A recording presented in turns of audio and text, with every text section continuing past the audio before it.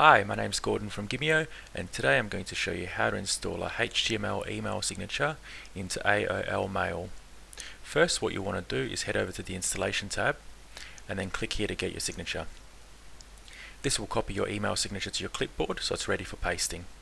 Then what you want to do is head over to AOL Mail and then click on options in the top right hand corner and then mail settings then head over to the compose section then make sure this box is ticked which says use rich text slash HTML editing then under the signature section where it says no signature click the drop down box and then click use signature and then click in the text area and press Control V or Command V if you're on a Mac and you'll see your email signature pasted in the uh, text box there. Then click Save Settings.